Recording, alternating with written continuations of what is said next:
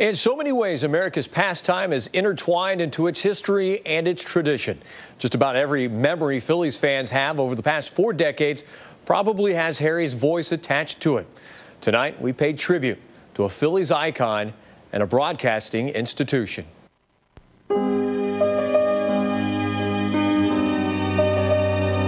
The sound is unmistakable.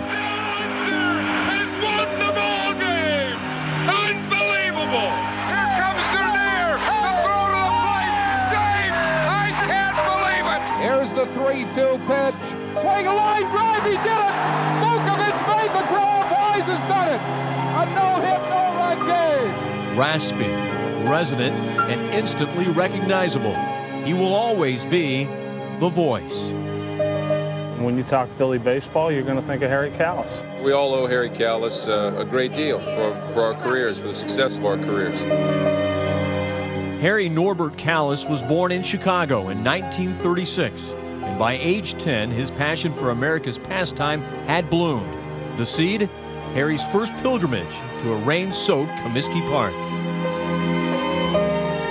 Because of the rains, the field was covered. There was no batting practice, so the players really didn't have anything to do. And Mickey Vernon popped his head out of the dugout, saw this kid, a wide eyed kid, me, picked me up, took me in the dugout, gave me a baseball, introduced me to his teammates, and thus began my love of baseball and the Washington Senators.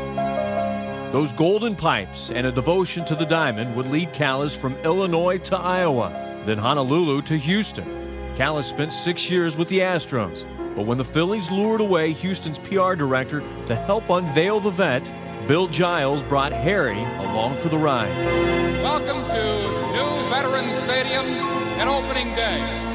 On behalf of the Philadelphia Phillies, we thank you very much. Kalas called games during five decades and with dozens of partners, but there was never a pair like Harry and Whitey. They were a perfect team, and I, I can't explain it other than that because unless you've done this and realize when you're working with someone that you're not comfortable with, how tough that can be.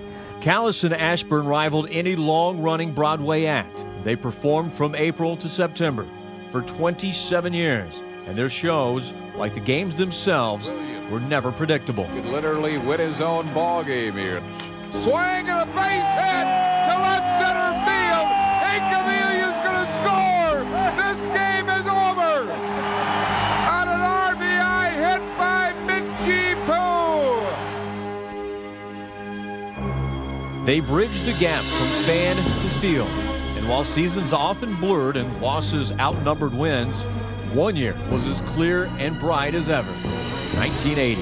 Swing and a drive right center field. Maddox is there!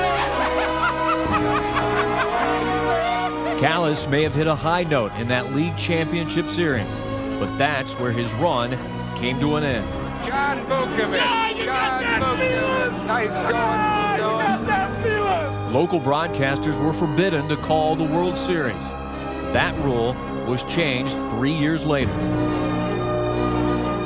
Kalas and Ashburn were sidelined for that chapter of baseball history, but years later, they were each written into the history of the game when Cooperstown came calling. Do we have to treat you any differently now? Yeah, a lot of respect, a little respect. Ashburn was inducted in 1995, but when Kalas earned enshrinement seven years later, his friend and colleague could only watch from above. Whitey died in 1997. His whiteness, I know, uh, he'll be with me. He'll be with me when I'm making my speech. We feel your passion through and through. Philadelphia fans, I love you.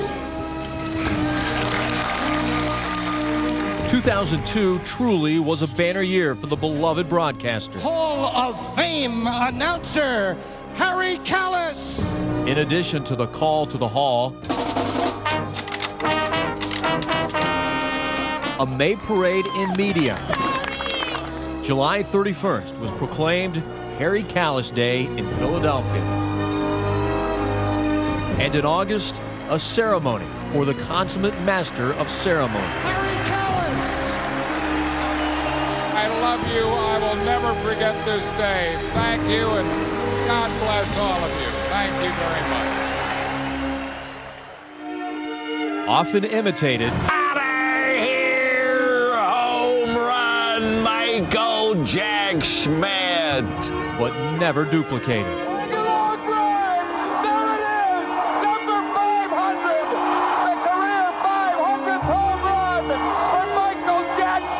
Harry the K loved the game, and his city loved him back. On the cradle of liberty, Philadelphia, Pennsylvania. Do we have closure? No. No, the heinous acts of terrorism last Tuesday will be with us for as long as we all shall live.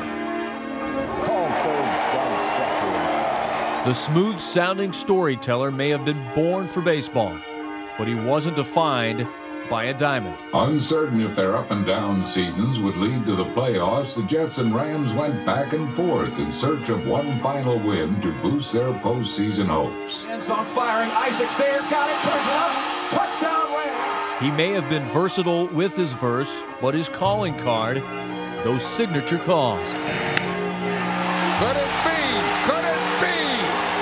It is out of here! Number 400 for Jim Thome. That unscripted emotion. Chase is going to keep going, and he's safe at home plate. Chase Utley, you are the man.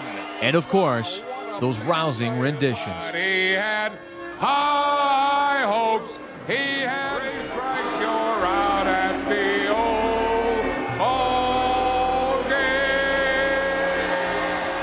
Harry Kalas took us to the ball game more than 6,000 times.